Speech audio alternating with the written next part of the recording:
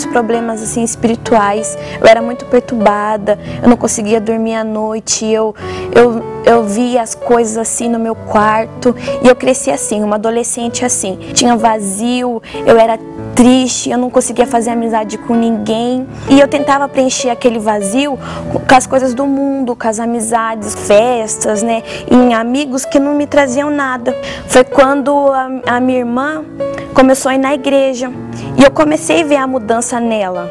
E ela uma vez me convidou para ir participar com ela de uma reunião e eu fui. Aí eu comecei aí, comecei a me interessar mais pelas coisas de Deus, pelo que o pastor estava falando sobre libertação, sobre o novo nascimento.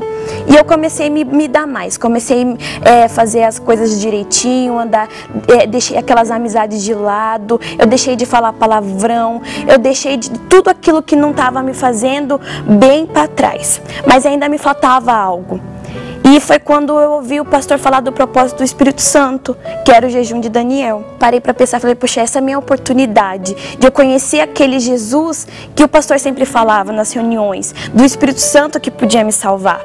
Então eu eu entrei nesse propósito de cabeça. Eu abri mão de tudo que eu, que eu assistia na TV, de redes sociais, de notícia. Eu me foquei só em Deus. No último dia do jejum, que foi num domingo de manhã, eu me lembro, eu estava lá orando, eu estava buscando.